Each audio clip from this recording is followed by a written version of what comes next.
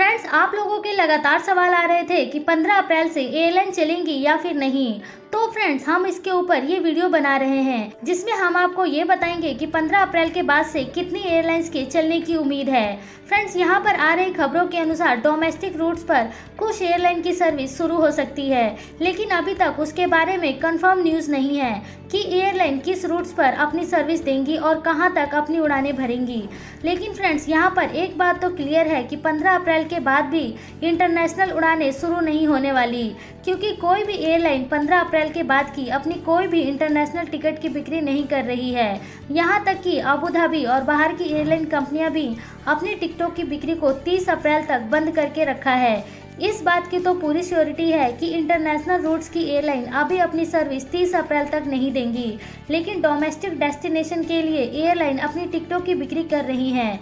इसको देखते हुए ये कहना गलत नहीं होगा कि डोमेस्टिक डेस्टिनेशन के लिए एयरलाइन अपनी सर्विस शुरू कर देंगी। इसके अलावा कल की मीटिंग में भी प्रधानमंत्री नरेंद्र मोदी ने इस बात को क्लियर किया है कि लॉकडाउन तो पूरे तरीके से नहीं हटेगा।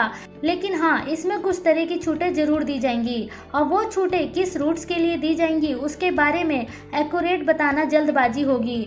तो हमें सही न्यूज़ के आने का इंतज़ार करना पड़ेगा। उसके बाद ही हम आपको कंफर्म जानकारी दे पाएँगे। फ्रेंड्स इस वीडियो में बस इतना ही। उम्मीद करते हैं कि हमने आपके ऑलमोस्ट सवालों का जवाब दे दिया होगा। वीडियो देखने के बाद इस वीडियो को लाइक ज़रूर करें। और इसकी आगे आने वाली जानकारी जानने के लिए आप हमारे चैनल को सब्सक्राइब करके रखें।